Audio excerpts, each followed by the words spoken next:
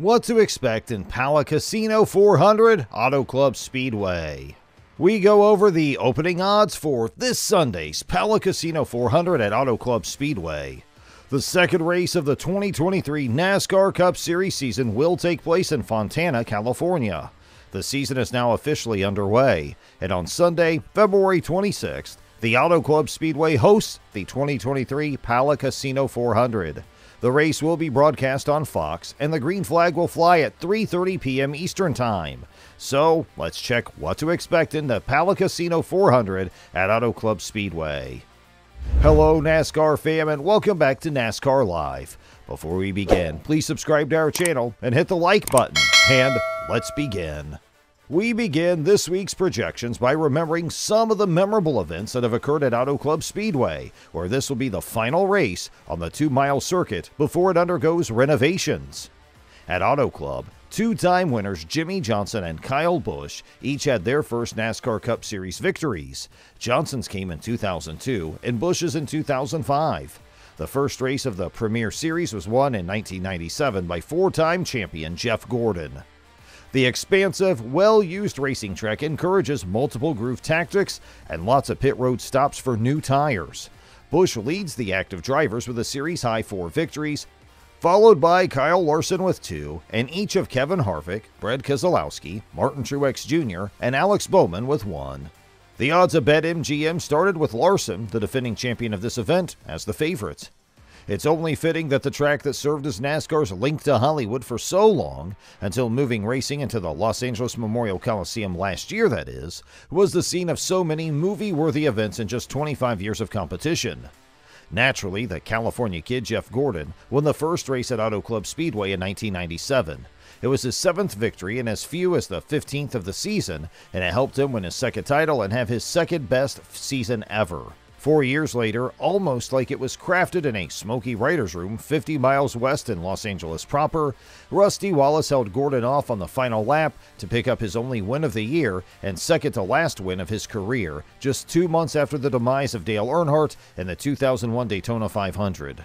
A standing ovation was given as Wallace, a close friend of the Intimidator, completed his victory lap while holding a black, white, and red number 3 flag out of his window. It was April 29th, which would have been Earnhardt's 50th birthday. A year later, Gordon's fellow Californian and teammate picked up his first NASCAR Cup Series victory of his career. As it turned out, there were a lot more victories to come. As we look back on it now, some 20 years later, Jimmie Johnson dove into the team's arms like Superman. Auto Club is just different as we'd come to realize. For some reason, huge things always seem to happen there, and it's proven to have a tendency for being the site of historic victories. Johnson later passed Earnhardt on the list of Cup victories all time at the track in 2016 on his way to winning his seventh championship. It also served as the scene of Kyle Busch's maiden Cup victory, which he did at the age of 20 years, 125 days, breaking the previous record for the youngest series winner ever.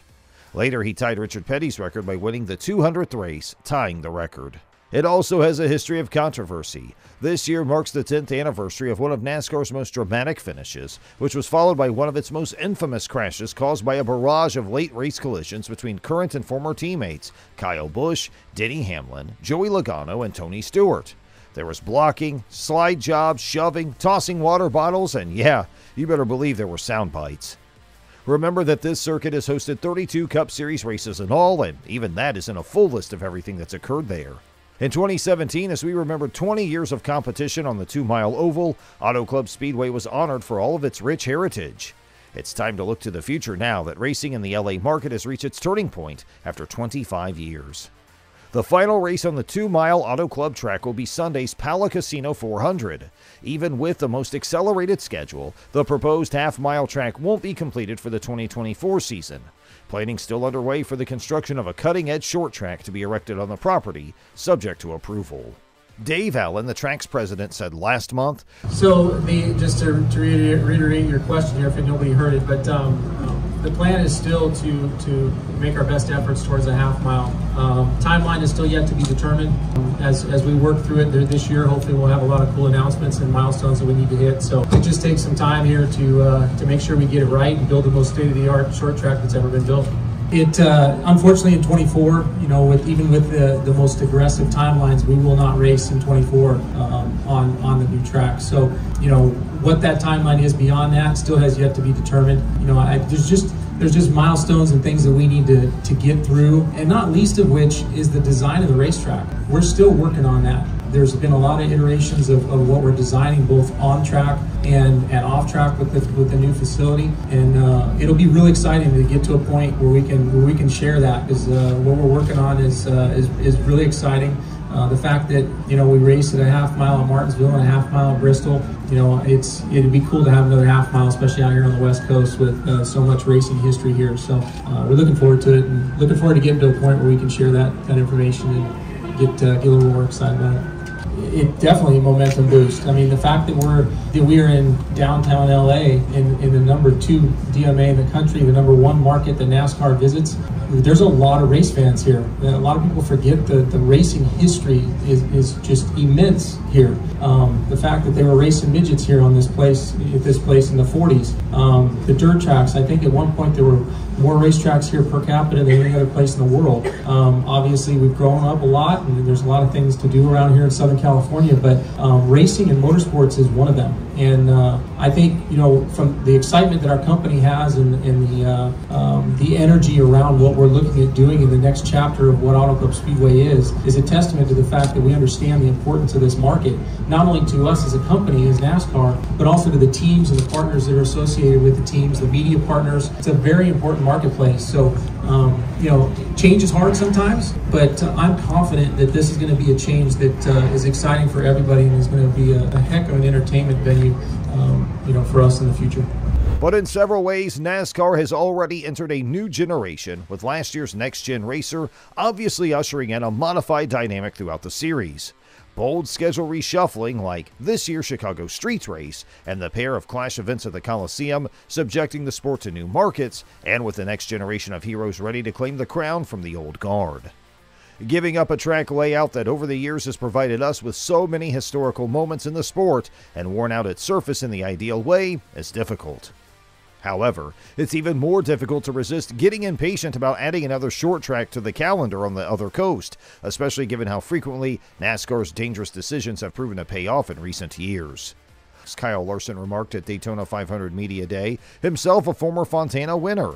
Yeah, I just I talked to him just briefly over there, and um, yeah, I don't know. I mean, it's it's uh, it's definitely a long process for them to reconfigure not only the track, but I'm sure a lot of the facilities. So. Um, I think he said it's like 18 month or something project, so pretty pretty intense. And I know with California and, and all the uh, the codes that you have to go through, it's, it's hard to have everything probably stay on schedule. So um, I don't know. I think uh, I don't know exactly the extent of what they're doing with the track and how big it's going to be and the shape and banking and all that. But um, and I love the two mile track, but uh, I think the more short tracks we can have, the better off our sport's will be. So neat that they're investing that money to uh, to try and grow the grow you know racing in California, but, but also NASCAR. Auto Club Speedway drivers to keep an eye on: Kyle Busch. Ranking points, 22nd. Best result for the season, 19th at Daytona. And previously at Auto Club, he won in 2005, 2013, 2014, and 2019.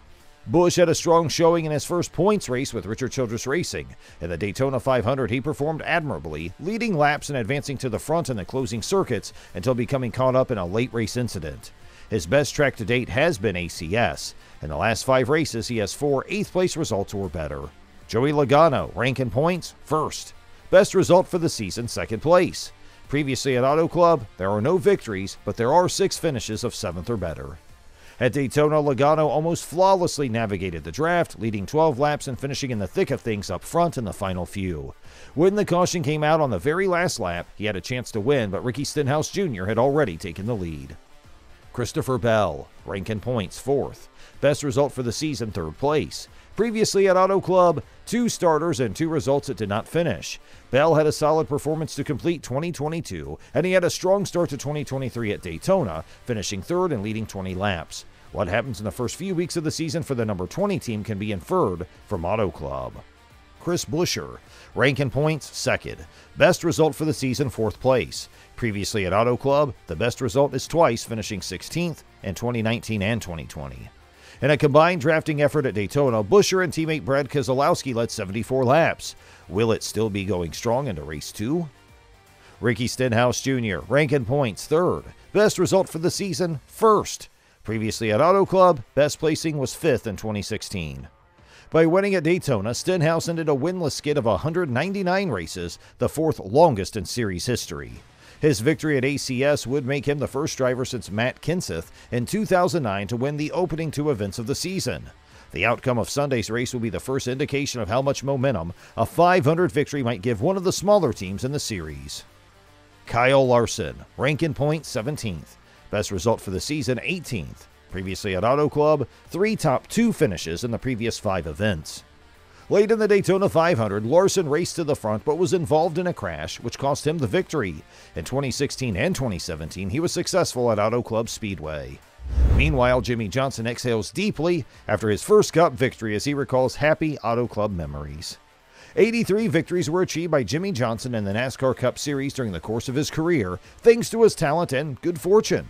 He still has many happy memories of his first, which occurred in his home state about 21 years ago, and the special celebration that accompanied it. At what was then known as California Speedway, the seven time champion won his maiden Cup Series race on April 28, 2002. The triumph served as much more than just a welcome back celebration for Johnson. It also served as evidence that Hendrick Motorsports and team co owner Jeff Gordon were right in recognizing Johnson as a rising star in the number 48 Chevrolet following a mediocre Xfinity Series run. It gave Johnson a sense of stability that would last for another 20 years. And that ends today's episode. We sincerely hope you enjoyed the video. Don't forget to subscribe to our YouTube channel to see even more of our incredible videos.